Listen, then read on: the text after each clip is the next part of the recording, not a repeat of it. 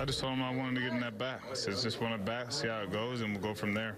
Uh, I was just glad that it was a longer at bat. I got to see some pitches, some breaking balls, uh, and then you know, obviously, you know, I got a hit, so it made it a little bit better. What did you think of the ovation you got from the crowd as you went to the plate? Uh, very much appreciated. Gave me chills, gave me goosebumps. Uh, you know, to hear that crowd just kind of stand up and know how hard you work to come back every time you get injured. Uh, just very much appreciated.